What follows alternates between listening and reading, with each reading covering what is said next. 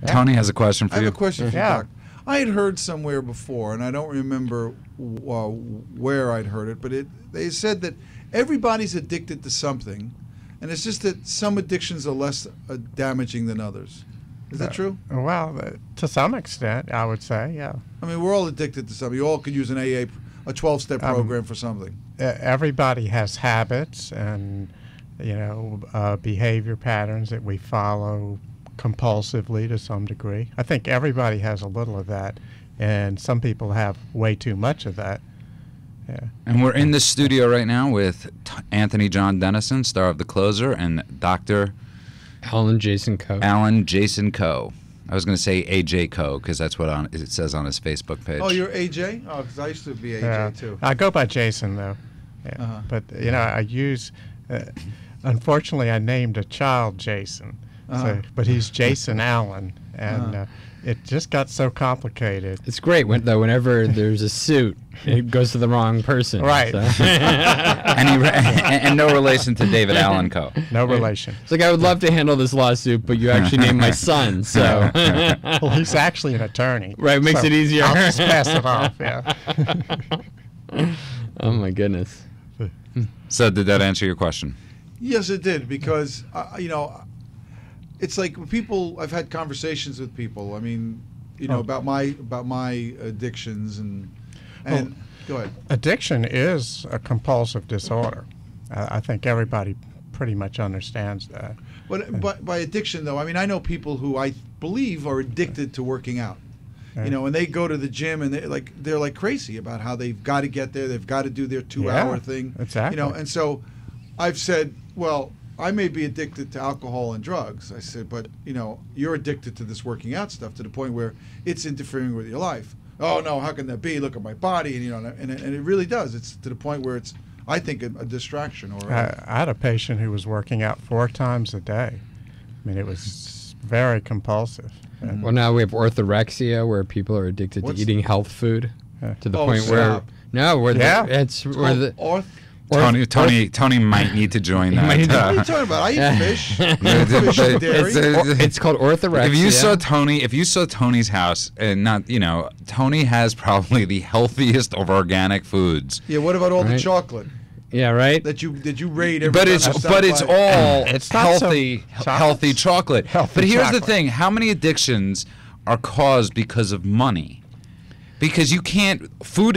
What you're talking about, orthorexia. You can't be a poor orthorexic. yeah, you can. Sure Really? you can. Sure you can. but- you be very poor. You can't really you got goji whatever. Well, orthorexia really is people that they have almost an irrational anxiety that their food is poisoned or bad for them, or that they have to eat something Oh. to be healthy. Now, now let me let's let's try and refine the definition here. Okay. uh, uh, of addiction. You know, it's compulsive behavior that becomes self-defeating or self-destructive. Right. and there's okay. physically addictive And- behavior, Well, there's there's physical uh, addiction. addiction. There's that's part of the definition Right. with certain substances. Uh, but yeah, there are definitely a lot of compulsive behaviors that I think are addictions. That you know, there's a there's a lot of talk now about process addictions. right. You know, gambling, gambling. sex, um, uh, you name it, working out, uh, shopping. shopping, big one. orthorexia. Orthorexia was an eating disorder. But you see, I usually share, and I don't know if I'm. I mean, it seems to resonate with a lot of people when I'm at meetings, and I'm the speaker, and I share this. I say, I I don't think I'm addicted to alcohol and drugs. I think I'm addicted to fear, and I used alcohol and drugs to treat that fear. And then once they stopped working, then you know I had to. F- through the AA program, Sure. find some sort of like a spiritual, you know, re- re- recipe. T- typically, people are self-medicating with substances. Yeah. because of fear, right? I mean, Yeah. isn't that, I mean, I say right. An- I'm saying is it- is- anxiety. is- anxiety. yeah, which is uh, an unknown fear. What about I always felt- sensitivity? I mean, because I feel the, anx- Yeah. the anxiety. I feel the anxiety still to this day, Yeah. but I find that you know through prayer and meditation, or through some writing, or going to a meeting, or Mhm. being of service to people, that somehow that that anxiety, you know, tends to abate, and you know I can do it more quickly than I used to do it when I first got sober, uh, but the anxiety was always there, and when I was high all the time in college. and you know, and then drinking. The anxiety, you know, I would deal with when I sobered up, but then quickly I would seek out more drugs so I wouldn't have to deal with it. Tony's actually got one of the funniest stories ever. What's the that he'll opposite of anxiety? Serenity. Uh, serenity. Faith, Oh, via faith. Yeah. Oh, yeah. Okay. trust. You know, Trust. that you know it's going to be okay. Yeah, it's fear versus faith. Yeah, Yeah. right. But uh, also, mood disorders is another uh, part Right. that people self-medicate.